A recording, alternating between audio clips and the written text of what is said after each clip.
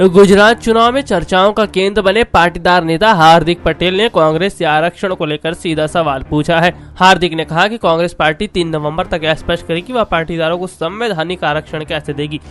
आपको बता दें कि तेईस अक्टूबर को राहुल गांधी को गुजरात के ओबीसी नेता अल्पेश ठाकुर की रैली में भाग लेने के दौरान हार्दिक पटेल से गुपचुप मुलाकात की खबरें आई थी।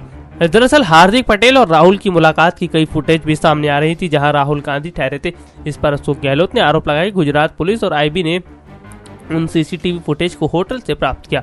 उनके मुताबिक वह उस दिन भर कई नेताओं से मुलाकात करते रहे। उन्होंने ट्वीट कर पूछा, आईबी और पुलिस ने होटल से सीसीटीवी फुटेज हासिल क्यों क्योंकि बीजेपी के आदेश से इस तरह के सर्विलांस में मैं निंदा करता हूँ। अशोक गहलोत ने ट्वीट कर कहा मैंने उस दिन होटल में हार्दिक पटेल और जिग्नेश मेवानी से मुलाकात की थी। आईबी और पुलिस होटल के उन कमरों की चेकिंग कर रही है।